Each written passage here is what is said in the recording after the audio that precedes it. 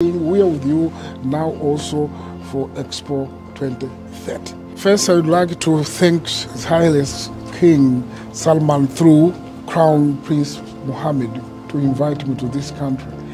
Beautiful country and good people. My visit was a special one and we enjoyed me, my ministers, my deputy ministers, all officials. We have a relationship very long time. We need now to do what is to open the window.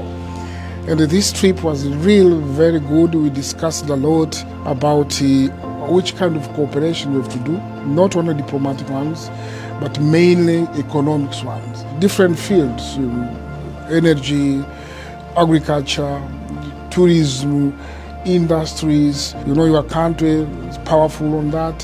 You have a good experience, very good and strong leadership with vision.